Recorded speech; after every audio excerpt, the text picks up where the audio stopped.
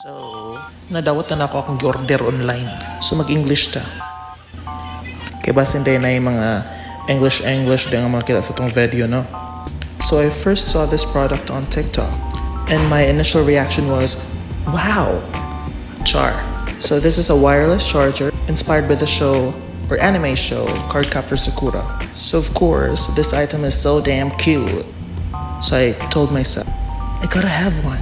Luckily, I found a shop on Shopee that sells this item. Just a piece of advice if if you have a big phone, buy the big one. Diameter 25 centimeters, thickness 1.5 centimeters. So you can feel that magical moment, char.